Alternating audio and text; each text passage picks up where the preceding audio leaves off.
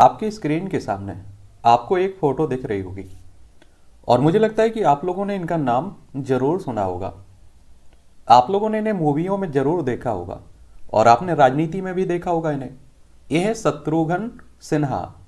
और अभी खबर ये आ रही है कि टीएमसी, यानी कि ममता बनर्जी की पार्टी की तरफ़ से ये पश्चिम बंगाल की जो आसन सोल सीट है, जहाँ उपचुनाव होना है, आपने देखा होगा कि कुछ समय पहले सुप्रियो में जो बाबुल सुप्रियो थे, इन्होंने इस्तीफा दिया था उस सीट से। इसलिए वो खाली सीट है। और आप सभी को मालूम है कि जब उपचुनाव होते हैं, कोई सीट खाली हो जाती है तो छह महीने के अंदर उस सीट को भरना होता है। वहाँ उपचुनाव एक तरह से चुनाव करवाना होता है। तो ऐसा माना जा रहा है कि यहाँ से इन्हें लोकसभा का उम्मीदवार टीएमसी की तरफ़ से बनाया जाएगा। और इससे पहले आप लोगों ने देखा होगा कि ये बीजेपी में भी रहे हैं, कांग्रेस में भी रहे हैं। अब टीएमसी में अभी आ चुके हैं। तो मैं इसीलिए तो बोलता हूँ कि देखिए, आज के नेताओं की कोई आप लोग भरोसा नहीं कर सकते कि कब किस पार्टी में शामिल हो जाए। देखिए, इन्हीं की बात नहीं कर रहा हूँ, हर किसी की आप देख लीजिए। आपको उत्तर प्रदेश में देखने को मिल जाएगा कि बेटी किसी और पार्टी में है, बाप किसी और पार्टी में है, पत्नी किसी और पार्टी में है। मतलब आप देखिए घर में अगर तीन मेंबर हैं तो तीन पार्टियाँ ज्वाइन किए हुए हैं।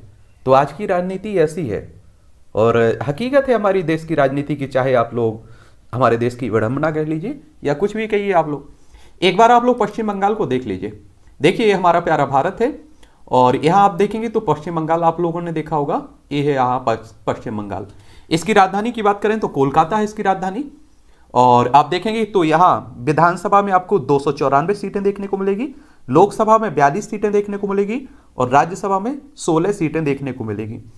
और अगर हम लोग सत्तुघन सिन्हा के जन्म की बात करें कि कहाँ हुआ था तो पटना बिहार में हुआ था इनका जन्म। ये भी आप लोग याद रखिएगा। और बिहार के बारे में कुछ बता देते हैं। आप सभी जानते हैं कि पटना राजधानी है बिहार की। और यहाँ आप देखेंगे तो विधानसभा में 243 सीटें हैं, विधान परिषद में 75 सीटें हैं, यहाँ लोकसभा में 40 सीटें हैं, राज्यसभा में 16 सीटें हैं। चलिए अब हम लोग बात कर लेते हैं शत्रुघ्न सिन्हा के बारे में। इनके बारे में एक सामान्य जानकारी देख लेते हैं। अगर आपकी दिलचस्पी होगी तो आप लोग ज़रूर इसे देख सकते हैं। इनके वास्तविक नाम की बात करें तो शत्रुघ्न प्रसाद सिन्हा, इनका नाम है। और उपनाम आप देखते हैं ना कि आपके घर में एक आपका वास्तविक नाम होता है। कुछ लोग आपको उपनाम से बनाने लगते हैं। तो शत्रु और शॉर्ट गन इनका उपनाम है। जन्म तिथि की बात करें तो 9 दिसंबर 1945 में इनका जन्म हुआ था। और आप सभी जानते हैं कि 1945 में हम लोग अंग्रेज़ों के गुलाम थे। यानी कि आज़ादी के पहले आप देखेंगे शत्रुघ्न सिन्हा का जन्म हो जाता है। और आप सभी जानते हैं कि उन्नीस में हमें आज़ादी मिली थी। जन्म स्थान की बात करें तो पटना, बिहार में इनका जन्म हुआ था। ब्रिटिश भारत, यानी कि ब्रिटिश के अंडर में भारत था उस समय। इनके पिता की बात करें तो भुवनेश्वरी प्रसाद सिन्हा इनके पिता और श्यामा श्यामा देवी सिन्हा इनकी माता का नाम था। अगर हम इनकी पत्नी की बात करें तो पूनम सिन्हा से इनकी शादी होती है, विवाह होता है। और अभिनेत्री हैं जो, और पूर्व मिस यंग इंडिया भी रह चुकी हैं। कौन? पूनम सिन्हा। अगर हम लोग शत्रुघ्न सिन्हा के बच्चों की बात करें तो इनके दो बेटे हैं, एक बेटी है। लव सिन्हा, जो अभिनेता हैं, कुश सिन्हा, सोनाक्षी सिन्हा, अभिनेत्री हैं। आप सभी इन्हें सोनाक्षी सिन्हा को भी आप लोग जानते होंगे।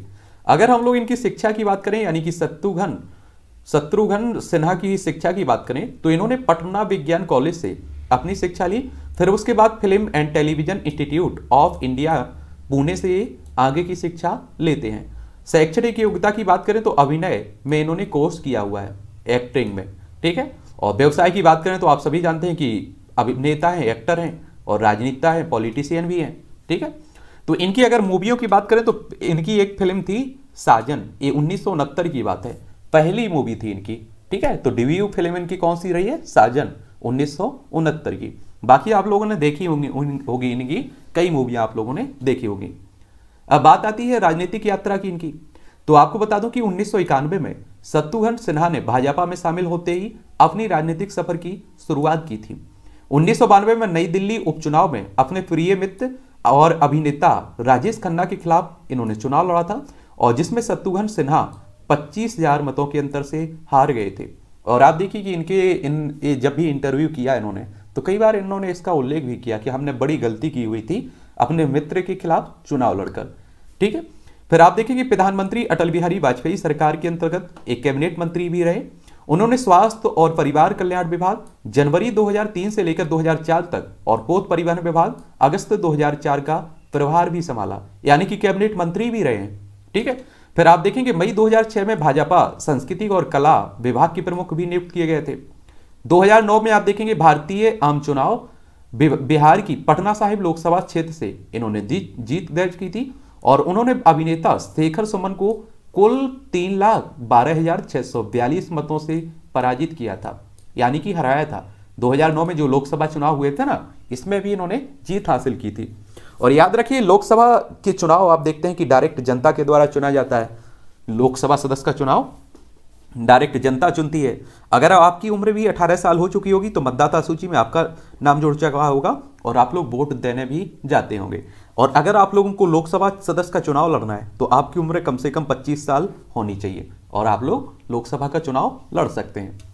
फिर आगे देखेंगे कि 2014 में भारतीय आम चुनाव में पुनः पटना साहिब लोकसभा क्षेत्र से सीट पर विजय प्राप्त की थी इन्होंने। 2014 में भी ये लोकसभा का चुनाव लड़ते हैं और लोकसभा सदस्य बनते हैं। लेकिन आप देखेंगे 2019 में भाजपा छोड़कर कांग्रेस का दामन थाम लेते हैं और पटना साहिब लोकसभा सीट से चुनाव लड़ते हैं, लेकिन हार जाते हैं। मुझे यही समझ में नहीं आया कि देखिए, आप सोचते, सोचिए कि उन 2019 हो 2018 2014 हो, इस समय मोदी लहर काफ़ी तगड़ी चल रही थी। लेकिन पता नहीं फिर क्यों इन्होंने बीजेपी को छोड़कर कांग्रेस में शामिल हो शामिल हो गए थे। जो भी आपके ये, इनकी जो भी जो भी मुसीबत, जो भी समस्या रही हो ठीक है? अगर हम लोग इन्हें पुरस्कार भी मिले हुए हैं कुछ शत्रुघ्न सिन्हा को कुछ पुरस्कार भी मिले हुए हैं। उन्नीस में फ़िल्म तन्हाई के लिए सर्वश्रेष्ठ सहायक अभिनेता के लिए Bengal film journalist association award से इन्हें सम्मानित किया गया था।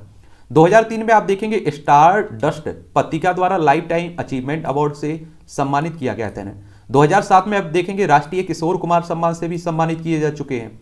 2011 में लाइफ टाइम अचीवमेंट के लिए इन्हें पुरस्कार से नवाजा जा चुका है। फिर आप देखेंगे 2014 में भारतीय सिनेमा में उत्कृष्ट योगदान के लिए उन्हें आईफा अवार्ड से भी सम्मानित किया जा चुका है। और शत्रुघ्न सिन्हा से कुछ विवाद भी जुड़े रहे हैं। इन विवादों को भी याद रखिएगा।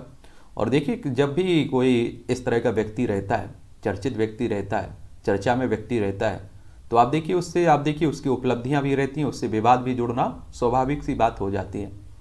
और समय समय पर शत्रुघ्न सिन्हा विवादास्पद बयानों में से सुर्खियों में रहे हैं। उनके बयानों से अमिताभ बच्चन और शत्रुघ्न सिन्हा में आपसी मतभेद पाए गए। अमिताभ के द्वारा शत्रुघ्न सिन्हा को फ़िल्म सेट पर कई बार चेतावनी भी दी गई, परंतु शत्रुघ्न द्वारा विवादास्पद बयानों का दौर चलता रहा और इन्होंने अपनी आत्मकथा एनीथिंग एनीथिंग बट खामोश में उन्होंने अमिताभ के साथ अपने कटु अनुभवों को साझा भी किया हुआ है। इनकी आत्मकथा है और 2013 में यश चोपड़ा की प्रतिमा के अनावरण के दौरान शत्रुघ्न ने अपने भाषण में रानी मुखर्जी पर एक टिप्पणी की थी, जिससे मीडिया में उनकी काफ़ी आलोचना भी की गई थी। तो यही कहानी रही अभी तक शत्रुघ्न सिन्हा के बारे में। अब ये चुनाव में किस तरह से परफॉर्मेंस करते हैं, क्या रिज़ल्ट रहता है, ये तो आने वाला वक्त ही बताएगा। और आप लोग, मुझे लगता है कि सोशल मीडिया के ज़माने में जुड़े हुए हैं। आप भी सोशल मीडिया पर होंगे। तो आप लोग आसानी से इनके बारे में आगे की जानकारी इकट्ठी करते रहेंगे, जानते रहेंगे। तो अभी जो भी चर्चा में व्यक्ति रहता है उसके बारे में हम लोग बात करते रहते हैं। आप भी चाहते हैं किसी और के बारे में बात करनी चाहिए तो उसका नाम आप लोग बता सकते हैं नीचे कमेंट में, ठीक है?